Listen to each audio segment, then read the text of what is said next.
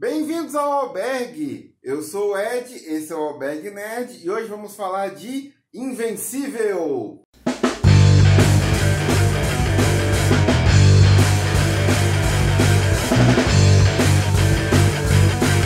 Albergue Nerd! Primeiro quero lembrar, se não são inscritos no canal para se inscreverem, ativem o sino das notificações para não perder nenhuma atualização e, claro, curtir e compartilhar esse vídeo.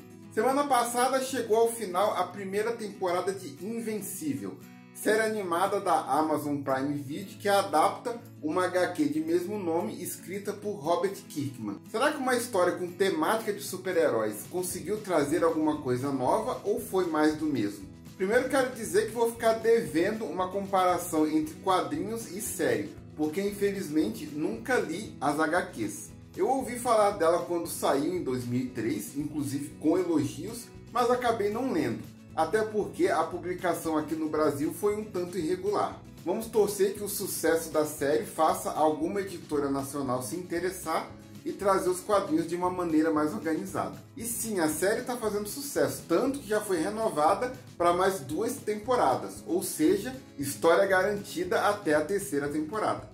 Mas do que se trata Invencível? Por que está agradando tanto aos espectadores? Ela conta a história de Mark Grayson, um jovem estudante aparentemente normal, mas que é filho do Omni-Man, o maior super-herói da Terra. Mark herda os poderes do pai, manifestando-os pela primeira vez aos 17 anos, e decide seguir a mesma carreira, assumindo então a identidade de Invencível. Aparentemente uma história de super-herói adolescente como tantas outras, mas essa percepção logo muda com um acontecimento chocante no final do primeiro episódio. A partir disso, nossa visão da história se transforma completamente. Queremos entender os motivos daquele acontecimento e ficamos na expectativa do que vem pela frente. Fora isso, a série subverte várias coisas da temática de super-heróis e brinca com diversos clichês. Por exemplo, um vilão chamado Doutor Sísmico, que Frieza possui realmente doutorado.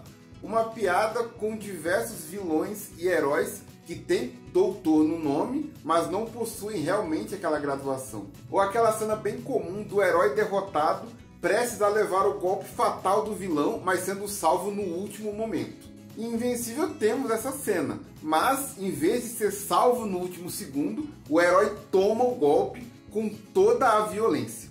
Aliás, por essa violência gráfica e ter várias subversões do tema de super-heróis, vi muitas pessoas comparando Invencível com The Boys. No entanto, embora tenham o mesmo tema, eu achei que são séries bem diferentes e as duas possuem o seu espaço. Em The Boys, os super-heróis têm aquela aura de corrupção e se brinca bastante com a cultura das celebridades. Por outro lado, não temos outros elementos característicos das histórias de super-heróis, como a figura bem emblemática do super-vilão. Até tem um direcionamento para isso, mas não é tão presente, o foco é outro. Já em Invencível, quando o Mark se torna um super-herói, ele é inserido num universo muito mais próximo do usual quando se trata desse tema. Temos os Guardiões Globais, uma referência óbvia à Liga da Justiça, a Tropa Jovem, um espelho do que seriam os Jovens Titãs, o Omni-Man, o Superman e assim por diante. E temos todo o caos e mistura que um universo de super-heróis tem.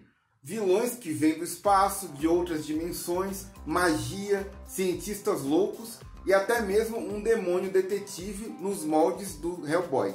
Mas tudo isso é permeado por uma história bem mais madura. Mortes chocantes acontecem e os super-heróis saem muito mais machucados das lutas. E diante dos planos dos vilões, nem sempre temos vitórias limpas para os super-heróis. E muitas vezes eles não conseguem salvar quem deveriam, deixando um gosto amargo. Aliás, sabe aquelas batalhas titânicas pela cidade, como a do Superman versus Zod ou os Vingadores enfrentando o exército invasor do Loki, que deixa tudo em ruínas? Sempre acabamos pensando quantas pessoas morreriam numa batalha dessas. Invencível temos a resposta. E acredite, não é nada bonito. O universo de Invencível é muito rico, tem personagens interessantes com ótimos conceitos. Por exemplo, temos uma heroína que tem um poder oriundo de uma maldição. Toda vez que ela usa, se torna mais jovem. Os gêmeos Mauler, vilões que fazem uma clonagem tão perfeita que é impossível distinguir o original da cópia. E assim eles ficam o tempo inteiro brigando e discutindo para saber qual deles é o verdadeiro. Um universo tão rico que me faz querer saber mais da história de cada um daqueles personagens. Fiquei interessado, por exemplo, numa história solo do Imortal, herói dos Guardiões Globais, quando teve um flash da vida dele.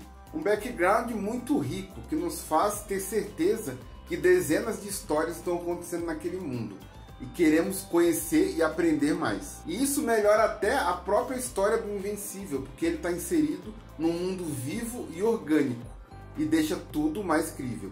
Falando em mundo, outro bom aspecto da série é o planeta Viltrum, de onde o Homem-Man veio. Enquanto na história do Superman Krypton foi extinta e ele é o único sobrevivente, Viltrum é uma utopia repleta de pessoas com poderes que ao atingir a maioridade deixam o seu mundo em busca de planetas para ajudar. Um baita conceito e quando Mark descobre mais sobre a sociedade Viltrumita, juntando com as ramificações do acontecimento do final do primeiro episódio, resulta um final de temporada excelente. Então se você gosta de super-heróis, mas está em busca de algo novo nessa temática, ou se está cansado justamente por achar que é mais do mesmo, Invencível pode ser uma boa pedida. E se está em busca de outro atrativo, se for assistir no áudio original, terá nomes de peso no elenco. J.K. Simmons como Omni-Man, Sandra Oh como Debbie Grayson, Zazie Beetz como Amber, Zachary Quinto como Robô, Mark Hamill como Art, Marechala Ali como Titã e Steven Ewan como o Invencível. E agora eu vou ter uma pequena parte com spoilers para falar de duas coisinhas uma excelente e outra nem tanto. Mas como vou revelar detalhes da trama, já sabem. O primeiro episódio termina com o Omni-Man assassinando violentamente todos os Guardiões Globais. Tenho certeza que quem não leu o HQ ficou chocado com essa cena. Afinal, temos o equivalente ao Superman assassinando a Liga da Justiça. E como eu falei, isso muda a nossa percepção da história, pois passamos a ver de outro modo aquele que seria o maior herói do planeta e exemplo do nosso protagonista. E ficamos tentando entender os motivos daquele ato e observando o tempo inteiro o personagem para saber do que mais ele é capaz. E no confronto final vemos o tamanho da maldade do personagem e os sentimentos que ele tem por sua família e pelos habitantes da Terra. De todas as versões escrotas do Superman, e acredite, tem várias, o Omni-Man acaba sendo uma das mais poderosas e cruéis, e tô ansioso para ver que desenvolvimento vão dar para esse personagem. Dessa forma, ele acabou sendo um dos elementos mais excelentes da série, permeando toda a história do Mark e gerando um medo crescente a cada vez que aparecia. Agora a parte que eu não gostei tanto, mas talvez seja por faltar elementos e partes da história, é sobre a sociedade de Viltrum.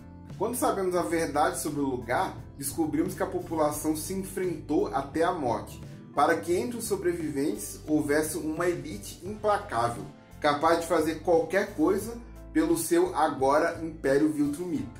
Talvez eu mude de ideia com mais informações, mas a princípio eu acho um argumento falho.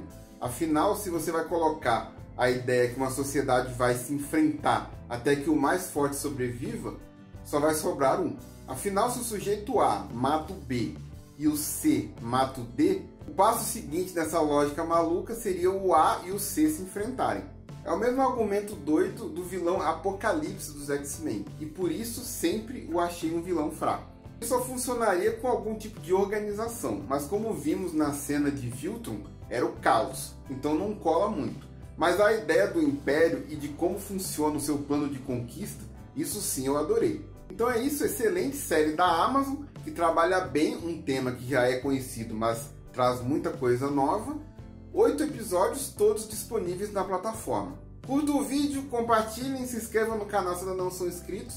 Não se esqueça das redes sociais, Albeck72, Instagram, Twitter, Facebook e TikTok. Sigam e curtam a gente lá. Nos vemos no próximo vídeo e que a força esteja com vocês.